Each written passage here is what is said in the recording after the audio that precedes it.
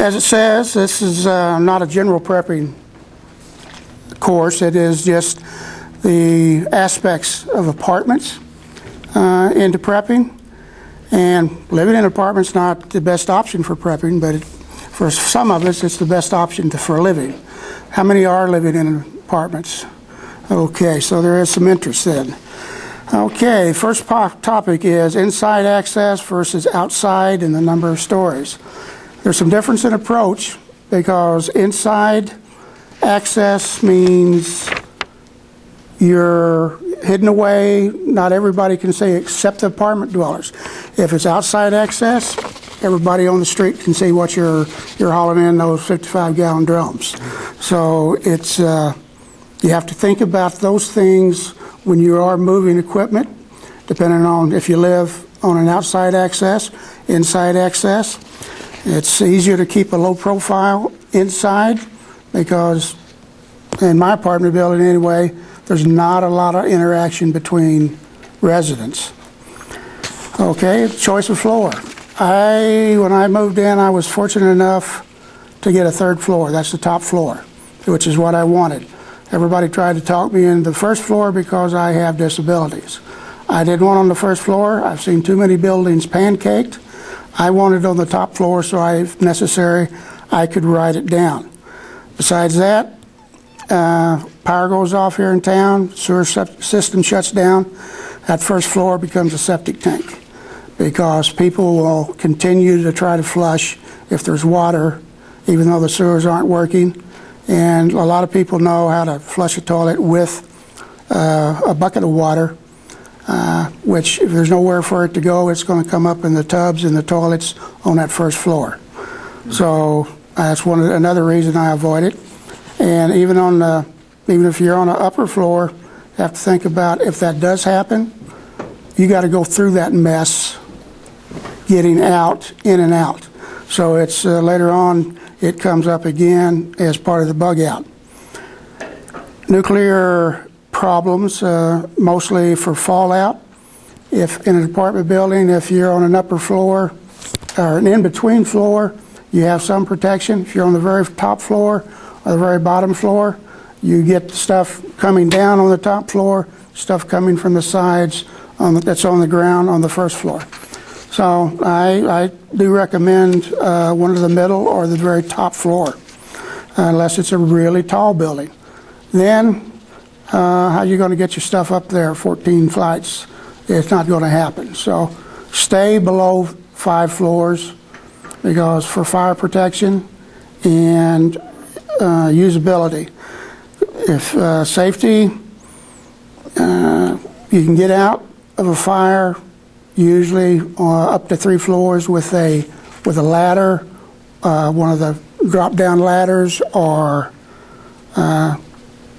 the fire department can get to you. If you're up there on the 14th or 15th or 25th, You've got a couple of options, but uh, they're both risky. You get one of those parachutes to bail out, which I'm not going to do, and uh, various rope and belay systems that are on the market to be able to lower yourself down to, to the ground.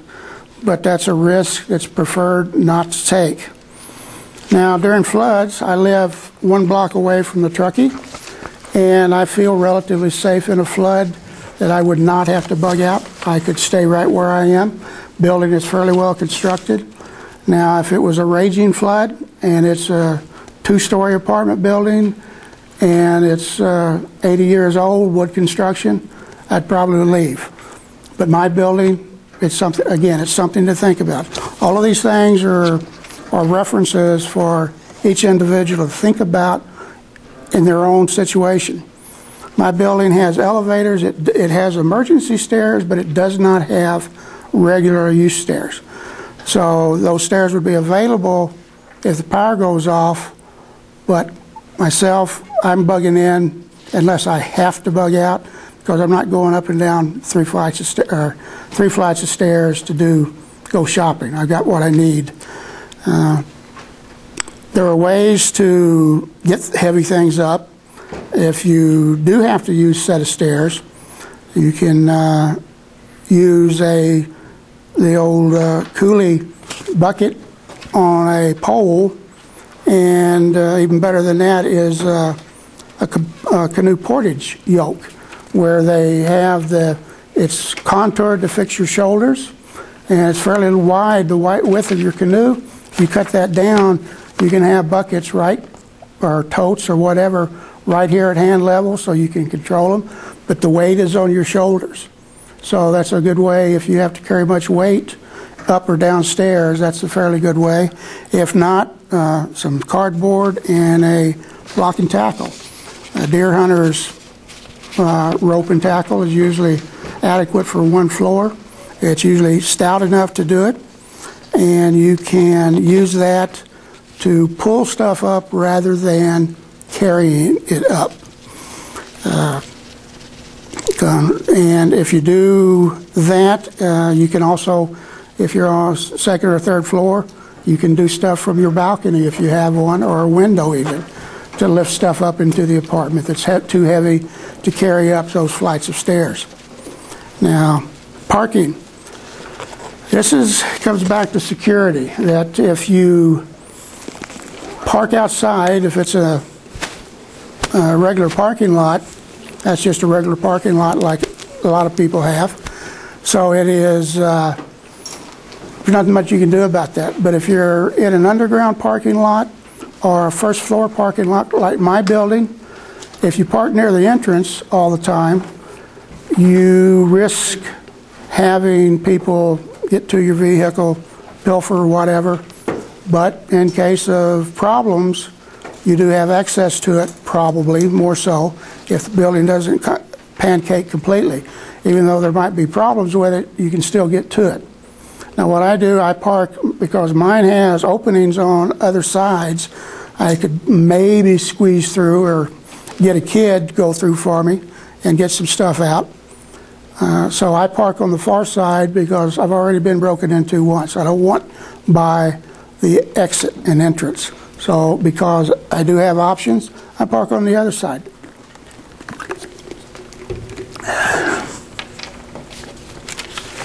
Major word of caution, of course. If something does happen, that situation, even though you might have some stuff in the vehicle, you need to think very strongly, do you go in there to try to get it out?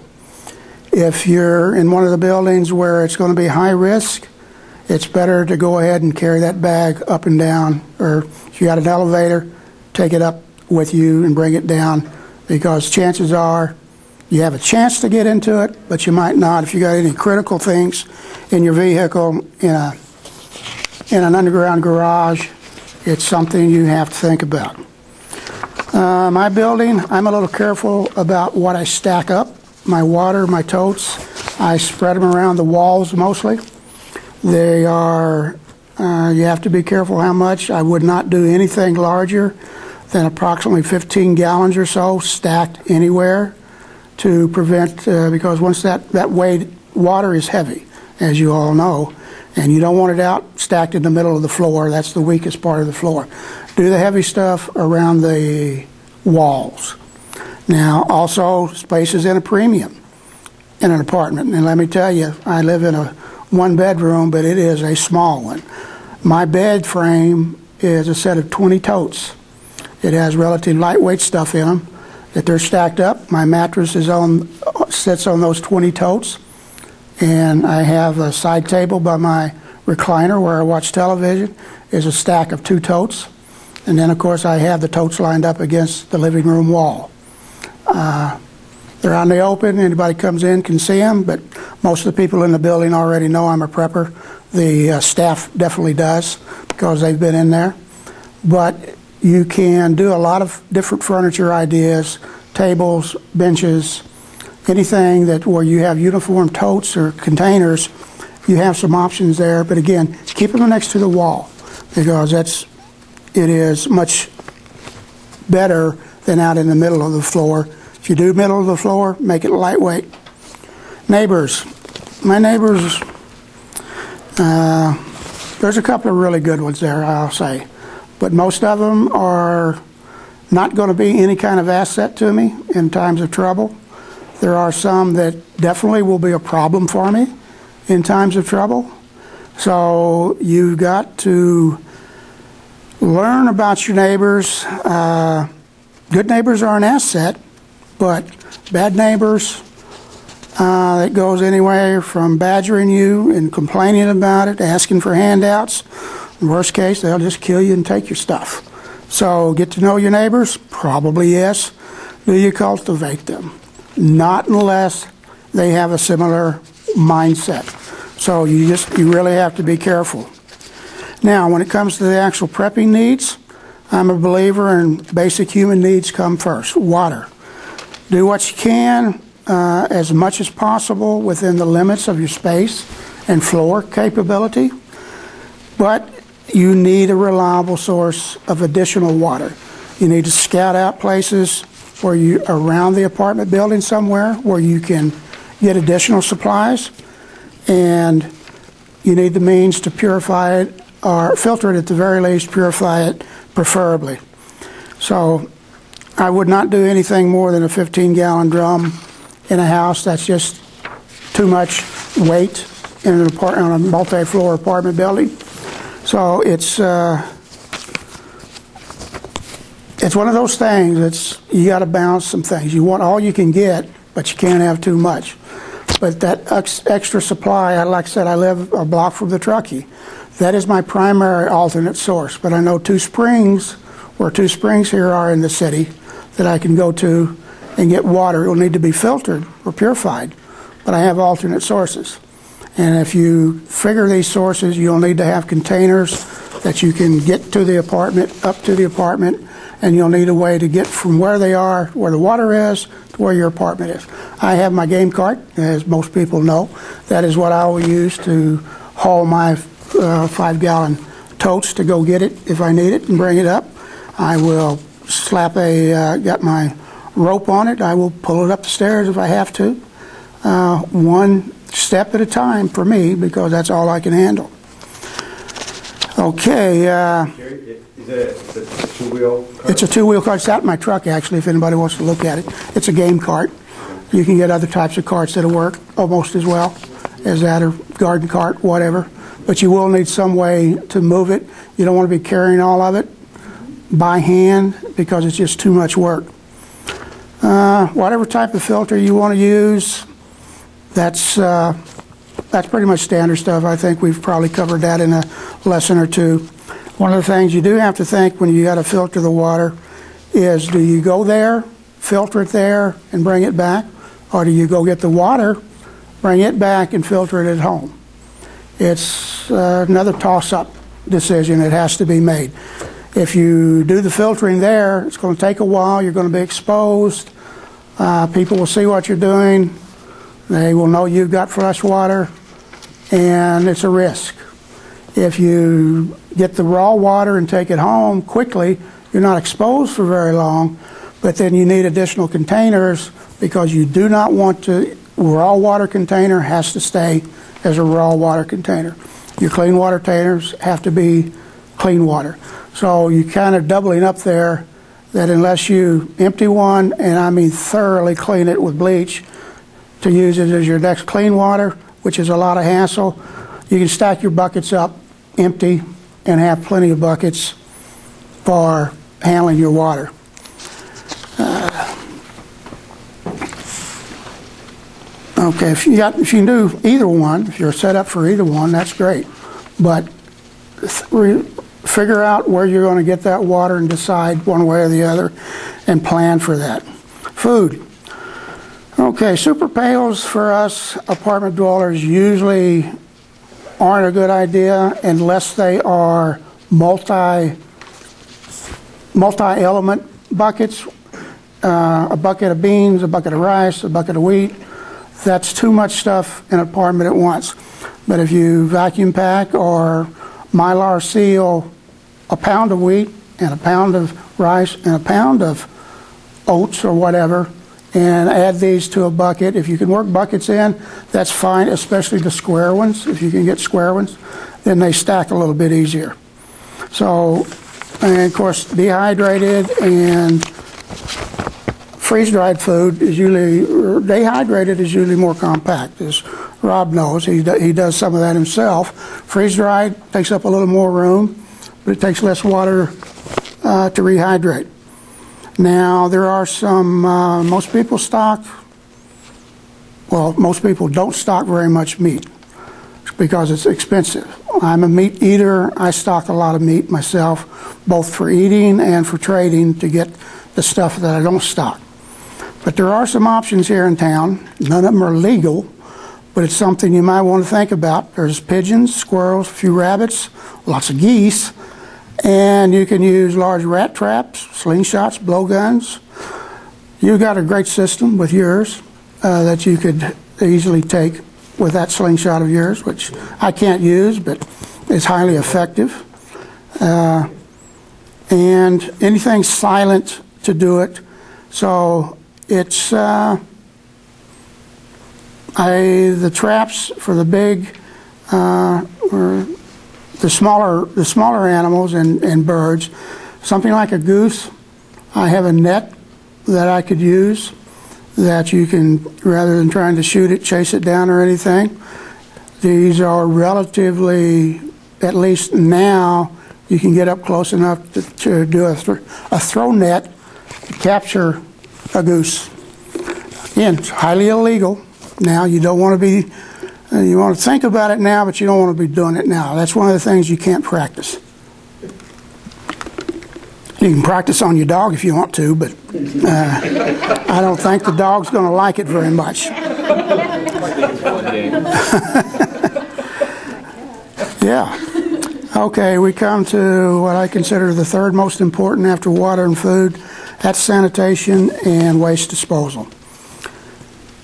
If the power goes off, if the water goes off, kind of check your drains. You might be able to use them, but I believe in the city it's all pump. It's not. It's not gravity flow, unless there are a few places that you may be gravity flow, but the ones downstream are not going to be.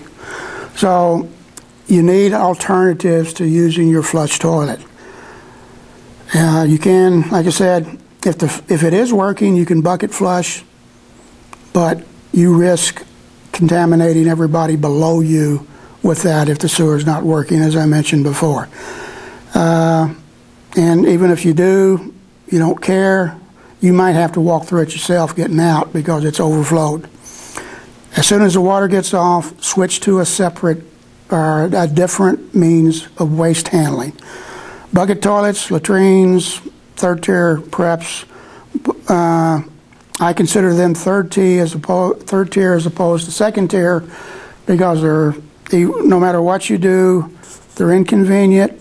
There's going to be some smell. Uh, chemical toilet's my first line. I have one that sits in my bathroom out of the way. I got my some first aid stuff stacked up on top of it. So I pulled that out on the drill here a while back, the bug in drill, and used that. Finished after the drill, I just the water back on, sewer working, I just dumped it in the sewer. It was done. So that is my preferred method. I think it's the cleanest, the least smelly. Uh, most people can use those. They're closer to a flush toilet. They are a flush toilet in that you do flush it. It just contains the waste in that bottom compartment. Okay, now for a long term, that toilet, that chemical toilet might fill up, or your bucket or whatever you're using. That if it's a dry bucket where you're using sawdust, moss, uh, anything like that, you can just uh, cap it off, stack it somewhere until you can get a chance to bury it. With a, with a chemical toilet, uh, you need a place to bury that waste fairly quickly because they do fill up. If you got a family, they're only going to last so long before you have to dump it. Well, there's another option besides taking it out and burying it while the fallout's coming down or the riots are going on. You need to know where you're going to do that, though, in case you do have to. Scout out a place to bury waste. But there are some totes, usually for RVs, that are uh, sanitation or waste storage totes. They have wheels on them.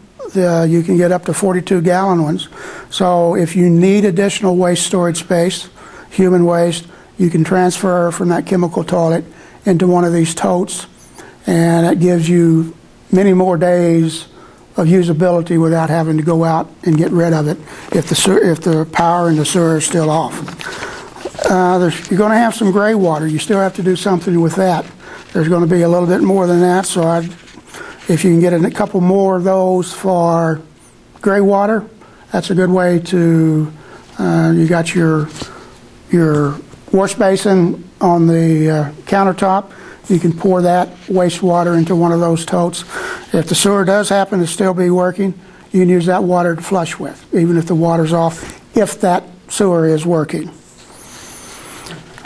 When they're full, like I said, dump them in a working sewer, take it to an RV dump station, which you still should be able to access if the riots are over and the fallout stopped. Uh, Then otherwise, you have to bury it. Have the tools you need to do it. Basically a shovel. In a lot of places around here, you're going to need a pick as well to get down deep enough. You want to bury it at least two feet deep. Human waste is a danger and you're putting that raw sewage in the ground. That's what a pit toilet, uh, what an outhouse does, but it's contained. They you use treatments on them. If you're just burying it, you don't, and it's got a building over it usually. Dogs, other animals will dig that up if it's not deep enough.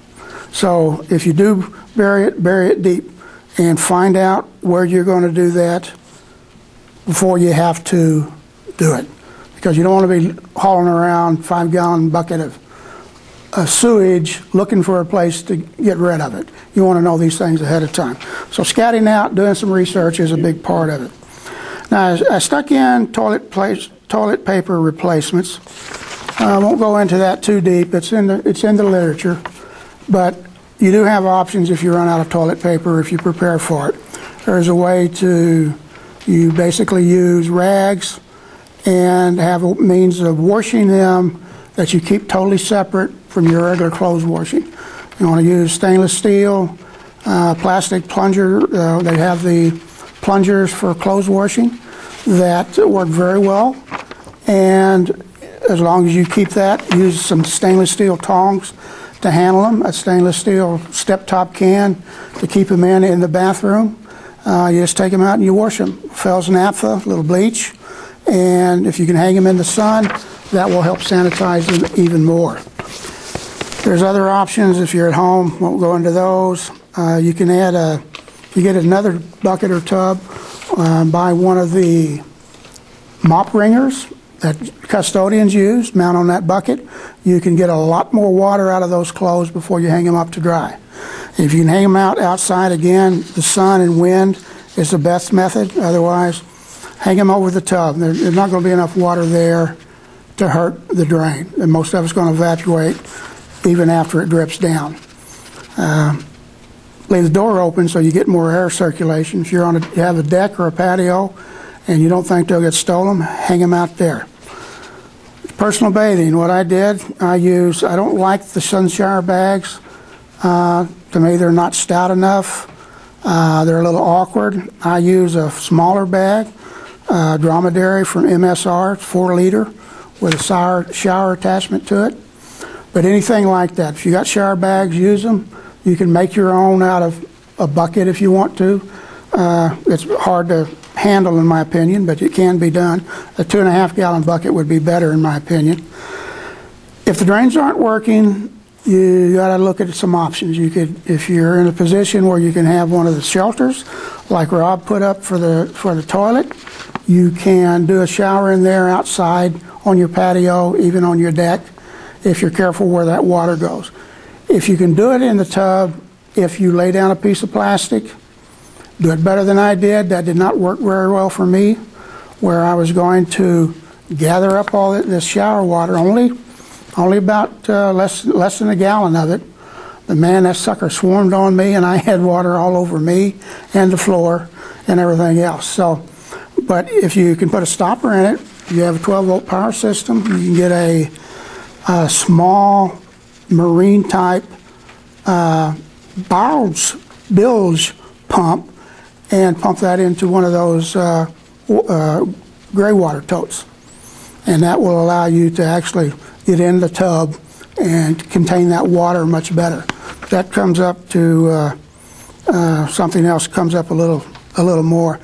Uh, if you have a small kiddie pool, can't use the tub because it's got a WaterBOB in it full of water, you have a little ki- kitty tub in the middle of the living room, and you can take a shower there. Ca- Catch that water, drain it off, either by hand or with that pump. When all comes down to it, uh, if you are going to do a shower, do the Navy shower. Uh, You Navy guys know what that is, probably most of the military. What you do, you open up the valve on the shower bag, you get yourself good and wet, you soap up, uh, put the shampoo in your hair, work it in, then you turn the water, you turn the water back on and rinse off. You don't leave the water running. You do it in two or three steps to conserve water. If you're really limited on water and you really have a hard time going to capture that water from a shower, just do a sponge bath. Uh, that'll help keep you clean and fresh. Uh, keep the place clean. Even if you only got, can use a broom, even on carpets, that's better than not keeping it clean. Uh, now, I'm a big advocate on communications and warning of NOAA weather warning radios. I have a Oregon Scientific sitting on my TV that's on 24/7. And uh, they test it every Wednesday if there's not a storm, so I know it's working. And when the bad weather comes through, the ice storms, the, the blizzards, the heavy snow, I know about it. I know about it anyway because I'm watching Weather Channel most of the time. But when that power goes off, that radio still works. So you've always got one. And if you get one, a good one that is hand cranked, even if you've got one of the ones that run on AC and it does, does go dead, or you have to leave, uh, have one that's uh, got a light in it and the same uh, SAME, which is the, special warning system that they use, that and the alert system. So even if the radio is just turned off, that alarm will sound on that crank up. There are a few like that. You have to really look for those. But that's if power goes off or you have to bug out. I, the- some of you, I'm sure have a, a scanner, public service man scanner. That's a good way to keep up on what's going on, although it needs to be one set up for a trunked system. And uh, like the guy asked me one time when I told him, what's the trunk got to do with it? Well, you don't, a car trunk has nothing to do with it. It's a method of communication where they bounce the signal around on different frequencies. So it takes a special scanner for some of our local uh, public service people. Also, if you're more than one of you, I have them anyway, there's just one of me, but uh, one of the handheld walkie-talkies, FRS, GMRS, MURS, 2 meter, 70 centimeter amateur, uh, is a good CB AM single sideband radio, but those, if you're in the apartment, but those, you start getting into antennas that uh, get a little awkward to put up in an apartment, and they aren't very effective inside. There are some that you can use if you want to monitor CB channels, so uh, just whatever you can figure out there. The best method is HF amateur radio for long distance stuff, but the antennas pretty much eliminate that, especially talking. You can receive, you can receive shortwave signals, but only the strong ones. Okay, backup power systems for communication. And we'll talk about that later, kind of like right now. Uh, there, there aren't too many power options available. Fuel type, liquid fuel, generators. You really don't want them in the apartment for sure, inside the apartment. Even on decks and patios, you're running the risk of everybody, their brother and three aunts and a couple of uncles knowing about it. So you're going to draw attention to yourself, which is not a good thing. Even the quiet ones like the, the Honda i series, they are very quiet.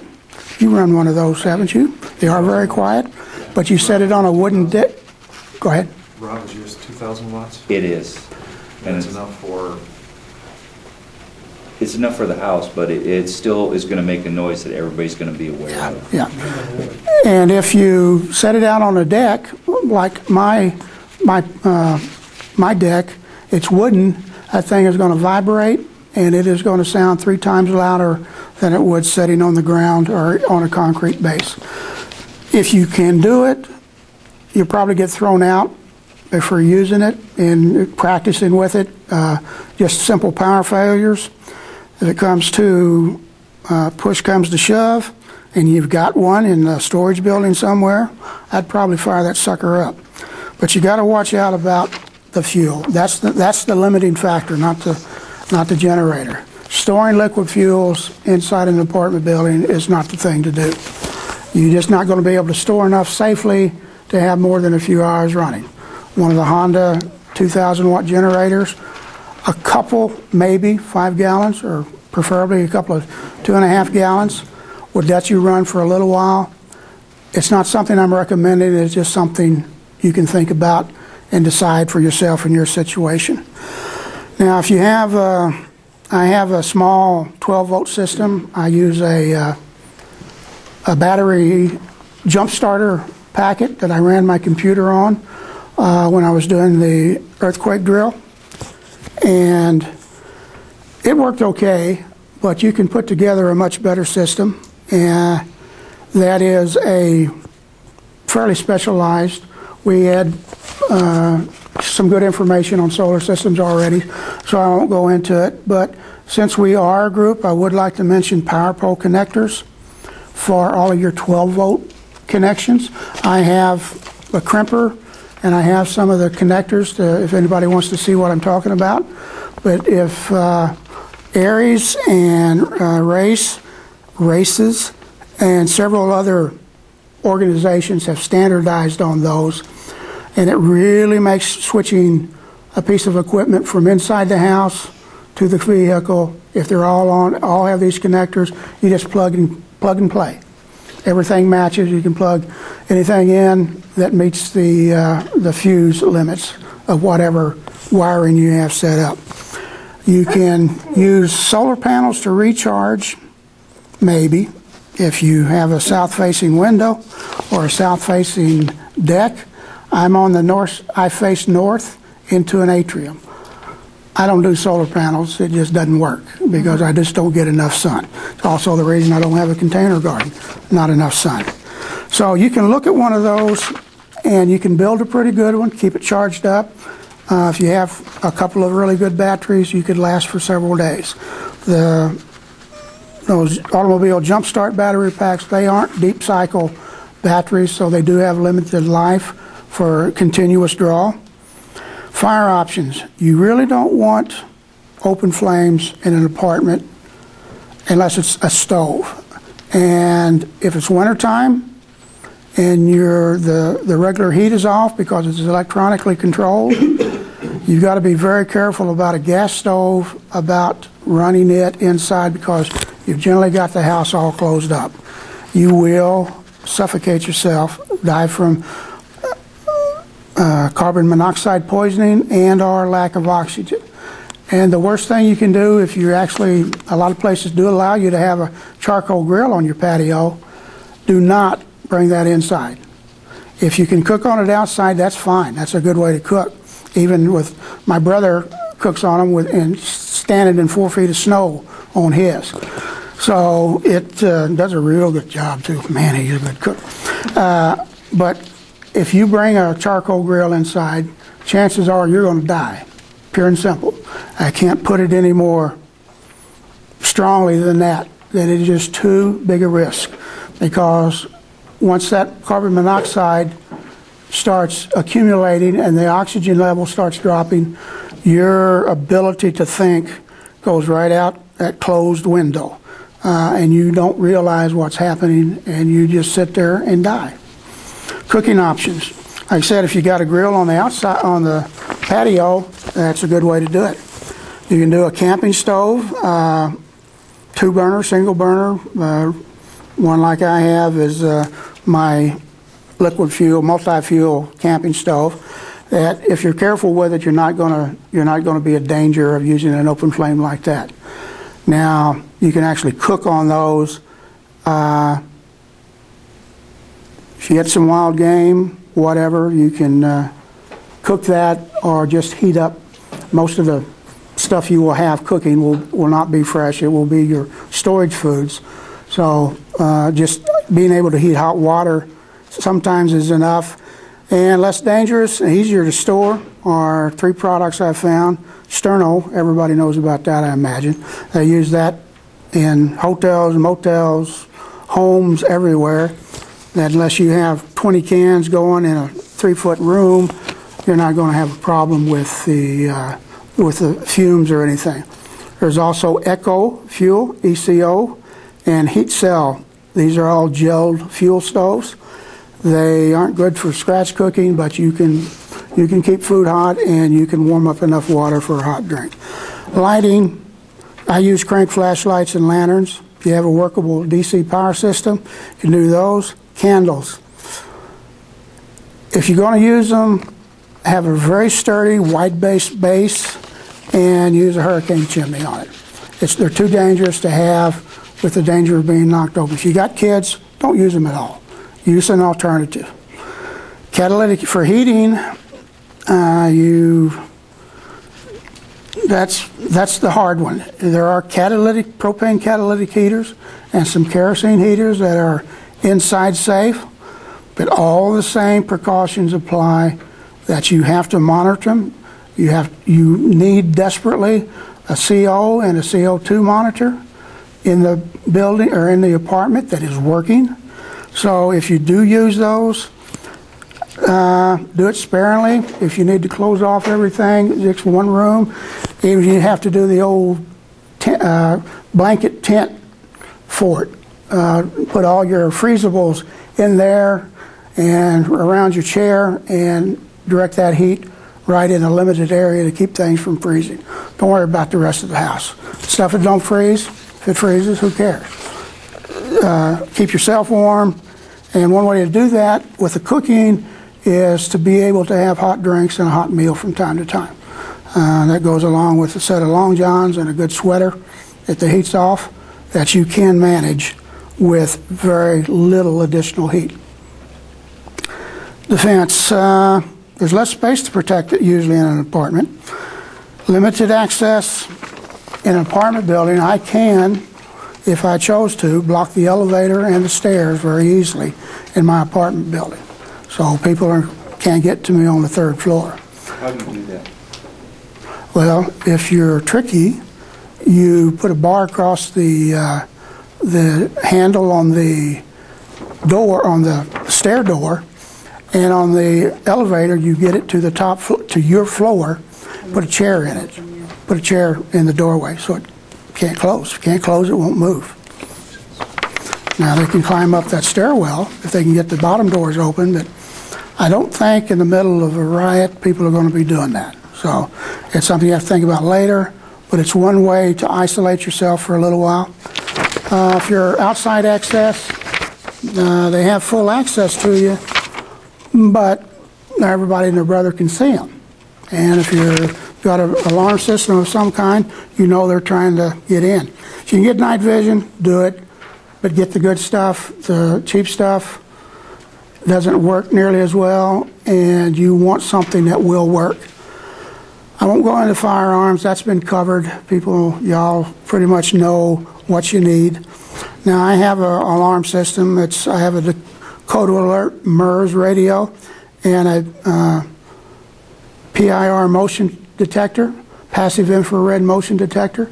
I can set that there by my door, have my radio on at night there by my bed. If something's going, I don't use it every night. If Something's going on, I will set it up. And if anything happens, uh, that door shakes or tries to move or anything, it will send a signal to my radio that will wake me up and tell me that there is somebody doing something. So that's uh, something you don't have to wire up, you don't have to plug it in, you don't have to, you just change the batteries once in a while. Okay. Fire safety. If you're not on the first floor or above the third, get the fire escape ladder. Keep the smoke, CO, and CO2 alarms checked regularly. Have a lid, a large lid by your stove that you can grab to put on a pan that might have a grease fire. Keep uh, baking soda, not powder. Uh, you really don't want to use baking powder. Use the baking soda. Uh, you can keep a box of that handy for grease fires. But a lot of the, like a lot of skillets, when you're cooking, you don't have a lid that even fits it. But get a large fairly lightweight lid that you can grab and put on any, any pan or skillet. If you're deep frying in a, in a big pot, something that will fit that if that grease catches on fire. Fire extinguishers, you want them. Uh, you need to learn how to use them. If you don't really know, there are tricks of the trade to using a fire extinguisher. That'll be a, some other class at some point in time. I won't go into it. Uh, but what I will go into, the little one pounders, they're better than nothing, but they often get you in more trouble than you started with. Two and a half pounders are marginal, but those are better. Most people can handle them. Five pounders, almost everybody can handle those. 10 pounders is getting to the limit of usability. I wouldn't mess with 20 pounders. Not enough, one, maybe one person in the house might be able to use them. Uh, and most of the fires in an apartment, you're going to catch quick and put out quick. So the 20 pounder is not that much more advantage over a 10 pounder. Medical and first aid, we covered that uh, several times with Rob and plus our other instructors. Tools, hardware, and cordage. This comes down, uh, again, for some of the hardware, to the ropes and stuff to get your gear up the stairs. It also includes the plastic sheeting, duct tape, the other elements you need for uh, biological and chemical isolation that you can uh, set up one room as a safe room. Uh, Basic hand tools, you might need pliers, wrenches. A basic uh, kitchen drawer toolkit is usually enough. You can add some Gorilla Tape, some 550 cord, tie ride, stuff listed here uh, if you want. Spares, you want a lot of consumables. Just like your food and everything else, more is better. You want plenty of batteries. You don't want to have one set of spare batteries for that radio. You want a bunch. Now, bugging out. That is going to happen more often from an apartment than it will a house because you have a lot more apartments in a house. I mean, a lot more options in a house. Uh, there are additional reasons that I've already covered: the sewer and the uh, in the first floor, the hauling water up. All of those factors go into leaving or staying. Those you have to consider all of those. Uh, if you won't go into the legalities of being made, if you're told to leave, you probably better leave. Uh, so, bugging out needs to be uh, a portion of any apartment liver's preparations. Okay, uh, fold-up cart or bicycle, fold-up bicycle, especially in an apartment with uh, inline trailer. Those can carry enough gear to get you somewhere. Very effective on having what you need. Uh, you might even consider a uh, INCH bag to take off with in case it's going to be something long term. That's another again, that's another subject. Now, short range, you can go to friends, family, motel, city park if you have camping gear. You do need to have it. You can add some campgrounds to the list if it's medium range bug out, or long range. It's tougher. You might need that INCH bag. Okay, gardening in an apartment. I did not go into details because I'm a long way from a master gardener. Uh, is it acceptable in your building? Happens to be in mine. In the in the courtyard, we can do it. Uh, can you set one up? And will they let you? Uh, do you have a deck or patio? There are weight limits to what you can grow on a on a wooden deck. But if you they will allow you, mine doesn't. You can't have stuff like that on the decks. Uh, can you contain or grow on your deck, allowed or bootleg? It's a decision you have to make. Like our building, they're in there on a regular basis. They know, they're going to know that you're doing it. And if it's not allowed, it'll cause you problems. Again, comes back to the same thing with uh, solar, solar panels. Do you have enough sun to do any gardening? Can you use window boxes? Can you use uh, window greenhouses? All of these things listed here are aspects of whether or not you can do some gardening to supplement your stored food. And it's, it's going to be building specific every time. Uh, Any questions on what I've covered, or, yes? Question for you, um, have you, or do you have an, uh, the escape route, so like for fires? I know it's really prominent in the East Coast, not so much here in the West, but No, I don't. It's something I would like to get, but at the moment, I can't afford. Have you looked at them? You Yes, I have. Reasonable to have? They are reasonable to have. Now, they didn't used to be. The one, the older ones were not as effective. Uh, They weren't as well made. There are some good ones on the market now, and I do plan on getting one. But again, I'm living on a budget as well as an apartment, so some of that, uh, it takes time to accumulate things. But it is one of the things that I should get fairly quickly, because fire is a factor. We, we do have sprinklers, so I'm less worried about fire than I would be in some buildings, but it's always a risk. Anybody else? Um, On the motion detector, is it sensitive where if a cat goes by your front door, would it set it off? If you've got it, not, not outside the door, no. Oh, okay. Yeah, That door would have to be forced to move enough, or if somebody was able to come in the patio door quietly, then, which is not likely, the way I've got things set up, but any movement within its range, but it's not going to do it outside the door. Now, if you got it sitting on the floor, cat going across it will set it off. Ah, Now, you want to set it in a position where that's not likely to happen. But that goes with any of the PIR uh, security stuff. Anybody else? Jerry, a few more things, guys, um, you know, it's for me, when I lived in an apartment, I, I hate to say it, I keep living on a budget coming back from an deployment, my alarm system was a glass beer bottle on the doorknob. We actually caught a guy in my apartment complex, his whole thing was to go by and see mm-hmm. which door was left unlocked when he went to work. We rattled that thing, it's from that one movie with Mel Gibson, you shake the doorknob, the bottle fall off, you're in your apartment, like, what was that? You know, so, because they were checking just to see your apartment. The other thing I had in my apartment, my staircase, like, for some of it, Jerry, because you can't climb down the side of the metal rail, my staircase to my apartment door, because I was an outside apartment, was cement steps. So I kept a sledgehammer by my door, so then if people were rioting or looting outside, I would smash out my stairs. So they just can't come up to your apartment, but if I had to get up and down, I would climb on the railing on the side, you know, because I kind of think about stuff like Jerry does all the time, I'm always thinking, what can I do, what can I do differently? Yeah, The other thing is with the plastic for the house, Jerry, like Jerry said, is I suggest people get the black plastic. Because if they are rioting and looting outside, you want to blacken out your living area if it's a house or an apartment. Because if you're, if, because in the military, I said this before, they taught us that a cherry of a cigarette can be seen a mile away in the dark. You know, so if they see your candle, your crank radio, uh, flashlights, hey, why are they still there? You know, he must have supplies, he must have food.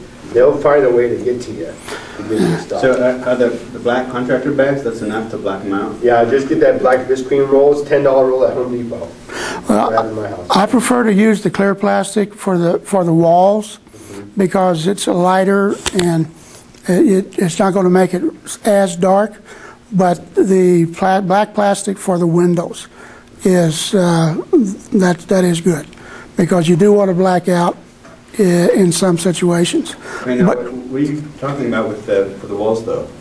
The regular uh, uh, painter's plastic or heavier duty, uh, you tape it to the ceiling, to the walls, you seal all the joints, you make a, you fix up a double layer at the door, you cover all of your wiring outlets, your switch plates, your ventilator, your air conditioning vents, and you have, try to get a fairly sealed room. You have to make allowances for ventilation, but there are ways, there are ways to do that. It's a little complex, I can't really get into it, that's a separate subject. Uh, But you can get a room that you can be safe in for a while if there is something going around. Uh, It's also good to set up if you have a sick room. If there's a pandemic going on, you want a sick room where anybody that is sick stays in that room. You want to do that to avoid the spread. Okay, yes, Uh, one of the thing about stoves is camp stoves make a lot of noise. they do. They So they're roars. the Great uh, lecture we had on alcohol stoves as a secondary option, Mm-hmm. um, you know, in the same, in the same vein of not being in, in a- in apartment living, uh, not, you know, being as, as, as as low-key and as uh, low visibility as possible. Yeah. Um, I've, I've been using camp stoves for many, many years, and they're all enormously loud. Yeah. Um, And They roar. like a jet going off. Yep. But uh, the alcohol stoves is something I've been looking into because of the quiet aspect of it. And they are available. Again, they're like the Sterno and the other heat cells are usually pretty small. They're good for heating up water. I don't want to cook a, a three-course meal on one, but they, they all have their uses. And they are relatively safe because of the way alcohol burns.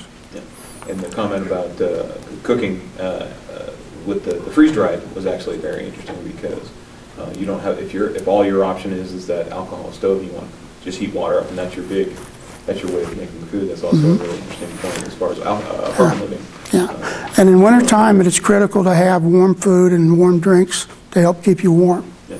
Anybody else?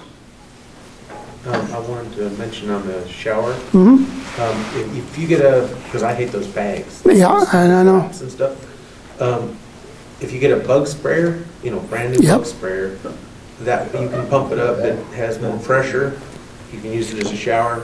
And if you paint it black, you can set it out in the sun and it'll warm it up. Mm-hmm. So you don't even have to, and then it's still clean water, so. Yep, that's a very good, op- that's a very good option.